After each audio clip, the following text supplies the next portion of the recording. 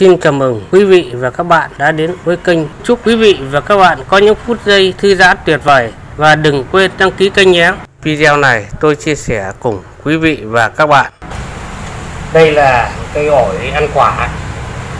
Thì à, được trồng nghĩa là từ một cái cây ổi con rất nhỏ được trồng và xong ghép vào cái hòn đá trong một cái là trong cái can nhựa, đây là một cái giống dùng hút rất nhiều nước. Thế nên như là cái can nhựa này không được ờ, lỗ để thoát nước, mà như là đầy nước này thì tưới cho đầy nước vào đây thì nó sẽ được tưới cho cây sống được khoảng một tuần. Nếu mà trời nắng to thì là vẫn thiếu, thì nó phải là một tuần, hai lần. Nhưng mà nếu mà trời ở nhiệt độ bình thường và nếu không nóng, nắng gắt quá thì nghĩa là nó phải được một tuần đó. Thế bây giờ như là chúng ta đi, cây này đã được trồng ghép với hòn đá này cỡ khoảng độ vài năm rồi bây giờ chúng ta đưa ra cái chậu một khác kiểu mới để như là cho nó lộ rễ ra và như là lộ hòn đá ra ừ. đây đây là cái à, chậu chậu tôi định à, đưa ra nói chung là đây là cái và là kim niêu đất đây là kim eh, nắp niêu đất còn đây là kim niêu đất Đấy. nhưng mà bây giờ muốn trồng, thì cây này nghĩa là hút rất nhiều nước. Nên tôi lấy một cái eh, can nhựa, nước giặt cái rồi cắt đi, cho vào đây, cho đất vào đây. Nhưng mà không đục lỗ nhé. Không đục lỗ để nó giữ nước cho cây eh, thì chúng ta nên là tưới ngày một lần hoặc như là hai ngày một lần cũng được. Nếu mà cây nó to, nó tốt tùy theo như là theo cái thời tiết, Đấy. ngay là nhưng chúng ta sẽ cho vào đây. Để đất đây cho vào cái này và hai nữa là khi khi cái cây này lấy ra khỏi cái cái chậu này thì cái cái can nhựa này thì chúng ta như là có thể là để cắt bớt rễ, cắt bớt rễ để cho vừa tới những cái phần à, cắt. Đây là tôi sẽ cắt rồi nhé. Cắt đi cắt bớt để tôi cần. Vừa tới như là cái chân của cái viên đá. Để chân của cái viên đá viên đá này viên đá núi này. Thì chúng ta sẽ đặt nó vào cái cái, cái, cái, cái chậu này. Đấy. Đấy, đất cho vào đây rồi cho như vậy chúng ta sẽ có một cái sau một thời gian để cái cây phát triển dễ ăn xuống cái, cái, cái phần dưới này nhé ăn dưới cái phần đất dưới này thì lúc đấy là chúng ta mới như là cho cái đất đất này đi cho cái đất này bằng cách cứ thổi nước. Lấy nước của phụt cho nó tơi đất ra nó, nó trôi đất ra để cái nó chìa cái rễ. Đấy. Đấy, chúng ta thì cần phải chọn thêm đất vào đây nó tốt lên cao lên một tí.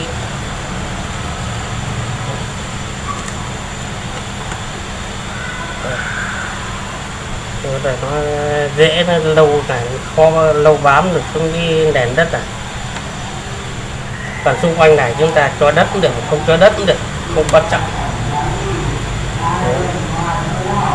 Để chúng ta nhé là thôi cho nó cằn.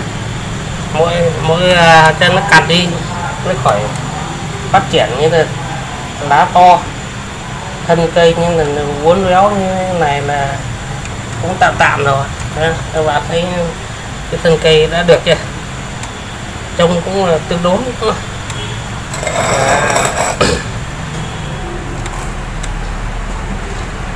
Trong tương đối chưa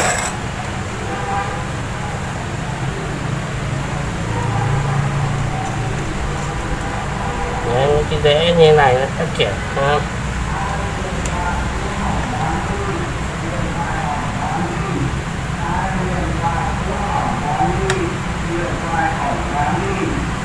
tương đối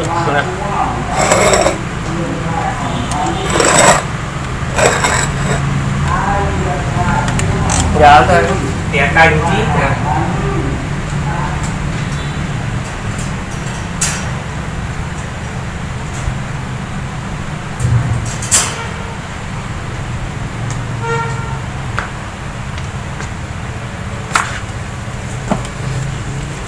Đây là nó ta tôi sẽ tỉa cành tí.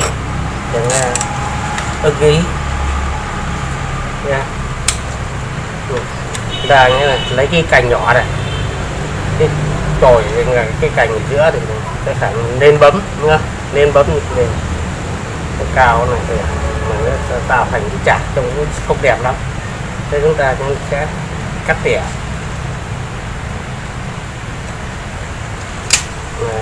Tỉa đi. Sao càng sát càng tốt.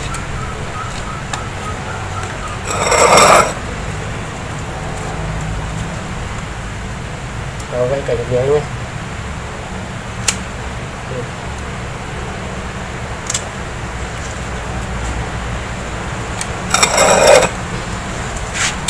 Đây có.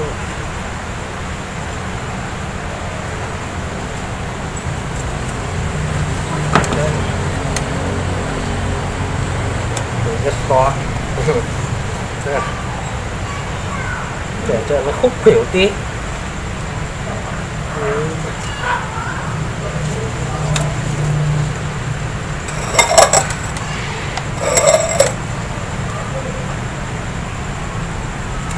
đây như ta đi đây cành này. Thế thì bây giờ chúng ta cần đi cắt sát đến đây cắt đến đây hay là cắt đến đây. Cắt cho nó thấp xuống. Là đây, tôi lấy để lại cái mầm này để lại cái mầm này. Như là như này cắt thấp xuống. Cắt thấp xuống này cắt trên đây để lại cái mầm này. Thì cũng dòng sinh sinh ba cành ngang ngang gần nhau thì cũng không không sinh sinh lắm đúng không Đấy. Đấy. cắt này nhá cái cắt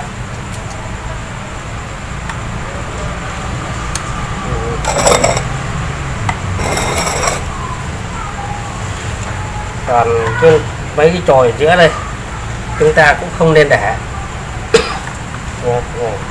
rồi, rồi, rồi lấy cái cành này lên và như là cái canh con con đây chỉ gần giữa đây thì lấy rồi gì, đúng không? Bây giờ chúng ta tỉa đi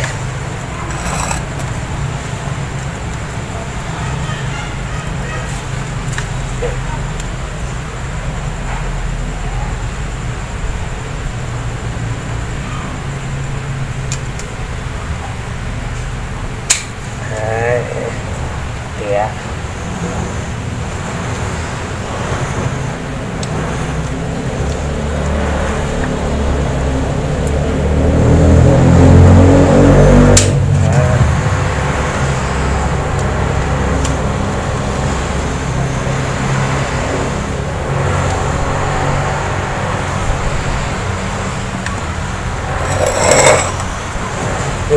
cái này chúng ta có nên để không? Hay là lấy cành này và cành này. Để cho nó thấp. Nó thấp. Đấy. cái khả năng chúng ta cũng sẽ cắt cắt cái chồi này đi. Để cho nó thấp rồi. Thấp, càng nhỏ càng đẹp Đấy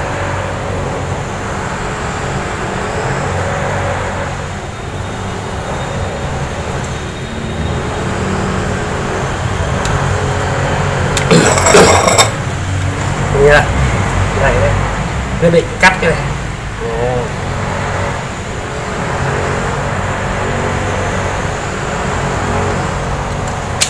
Rồi, cắt đi. Được. Như vậy chúng ta sẽ chồi này lên côn đẹp. Những cái thắt nhỏ từng, từng đoạn một thôi. Như vậy là chúng ta có cái, cái ổi. Sau khi xử lý rất đẹp.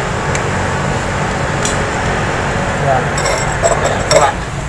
Thấy chưa nếu để cho nó dễ nó muốn cho dễ nó phát triển to. Và khi này cành nó, nó, nó nhỏ lá nó nhỏ đi. Chúng ta để như là các cái chồi ở đây. Khi nó lên chồi ở đây thì chúng ta cứ để nuôi tự do cho nó phát triển ở đây sáng lên. Nó cắt mất như thế. Trước của nó là cái chồi. Để nuôi tự do để cho khi phát triển bộ gốc. Bộ, bộ gốc bộ rễ. Cái này nó phát triển lên thì như là cái cành lá này nó đỡ phát triển. Đấy. rồi giờ chúng ta cũng tỉa dần. Khi nào bắt đầu như là cái cành nó to thì chúng ta lại cắt đến đây.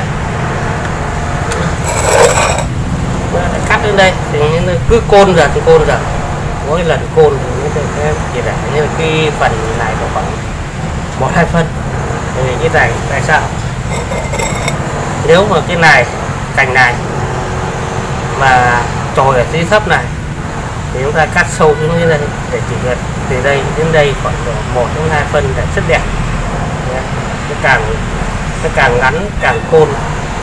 Ờ, càng ngắn, càng côn gì nó cân đối so với như cái thật là cái, cái tròi từng đoạn thân một nó cân đối lên tầm hai phân như thế này đẹp đây như vậy hai phân này nó bắt đầu côn. Đây hai phân côn. Bây giờ tự nhiên có cái hài hòa của cái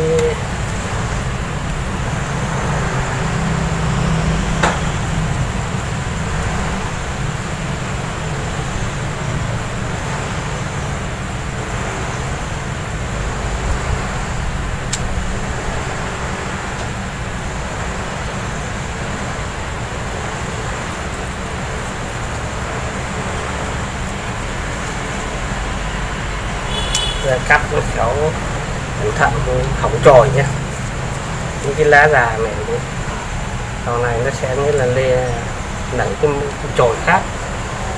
Ừ. đấy như vậy là chúng ta đã xong. Chúng ta chỉ cần chờ đợi kết quả nữa thôi.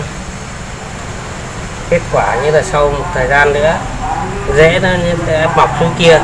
Và cái cái, cái phần bên dưới trồng cây tốt. Chúng ta chăm cho cây nó bén rễ, đừng để như là nó thiếu nước. Rễ nó phát triển xuống dưới. Thì chúng ta như là yên tâm, sẽ là chăm lên. Và lúc đấy thì chúng ta sẽ bỏ phần đất này đi, nó sẽ trồi cái rễ ra và chúng ta sẽ đợi như là cái video sau để xem.